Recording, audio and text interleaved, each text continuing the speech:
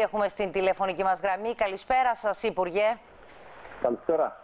Λοιπόν, διαπιστώνετε αυτό το περιστατικό, καταρχήν, είναι περιστατικό που συμβαίνει σε μια συχνή τακτική βάση; Είναι ένα περιστατικό το οποίο δεν θα του προσδώσω με όλο το σεβασμό σε εσάς ιδιαίτερη σημασία.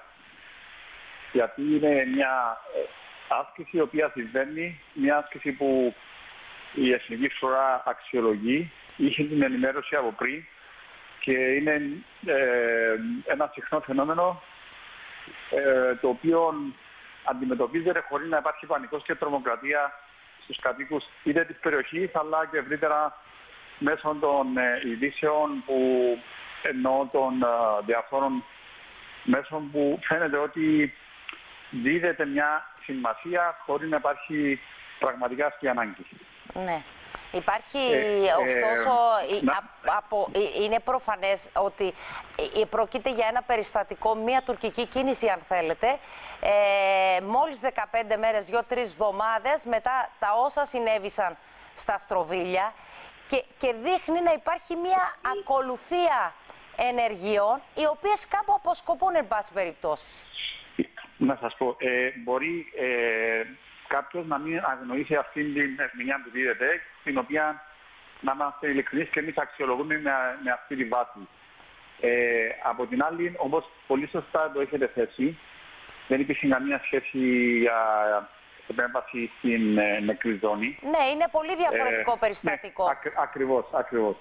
Ε, Ναι. Άρα πιστεύω ότι ε, ένα περιστατικό που δεν θα πρέπει να το αφήσουμε εμείς, εμείς σαν Εθνική Φορά και Υπουργεία Άμυνας στο περιθώριο, ε, αλλά είναι ένα περιστατικό που κατά τα άλλα για την κοινωνία μας πρέπει να μείνει ε, στο, στο, ουσιαστικά στο απειρόβλητο εννοώντας ότι να μην γίνονται διάφορες ερμηνείες Εννοείται που- ότι δεν χρειάζεται, δεν συντρέχει οποιοδήποτε λόγος ανησυχίας. Είναι κινήσεις οι οποίες είναι υποπαρακολούθηση, εξού και η αντίδραση της Εθνικής Φρουράς. Αντιλαμβάνομαι ότι αυτό εννοείται. Ακριβώς και θέλω απλώς να αναφέρω επί την ευκαιρίας αυτή ότι και η Εθνική Φορά είχε παρόμοια άσκηση σε μια περιοχή και υπήρχε αντίστοιχη ε, ανησυχία από τους κατοίκους ε, της περιοχής που κάνανε την άσκηση.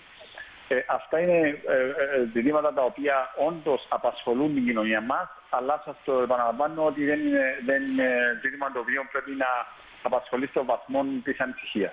Εννοείται δεν έχουν τη διάσταση που να δικαιολογούν τις όποιες ανησυχίες. Σας ευχαριστώ πάρα πολύ κύριε Ευχαριστώ Αγγελίδη. πολύ. Ευχαριστώ. Καλό σας βράδυ.